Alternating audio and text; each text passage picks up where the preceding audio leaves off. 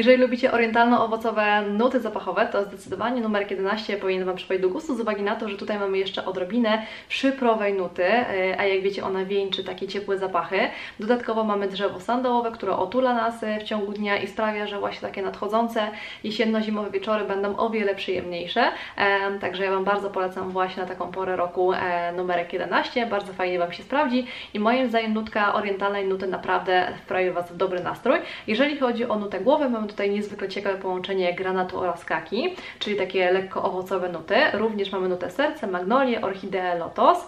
E, nutę bazową e, wieńczy fiołek, ambra, piżmo i drzewo sandałowe. E, no i jak widzicie tutaj lotos jest niezwykle odświeżającą nutą zapachową w połączeniu właśnie z drzewem sandałowym, fiołkiem czy magnolią tworzą bardzo ciepłe, ale jednocześnie bardzo też ciekawe nuty, także mnie się niezwykle po podoba to połączenie zapachowe.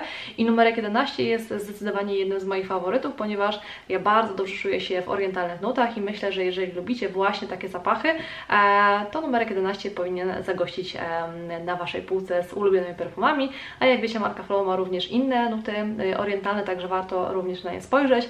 E, przybliżę Wam je, ale numerek 11 jest zdecydowanie moim faworytem, jeżeli chodzi właśnie o takie nuty. Jest e, idealny na teraz, kiedy mamy właśnie coraz niższe temperatury, chcemy się troszeczkę ogrzać i mam nadzieję, że ten zapach Wam w tym pomoże.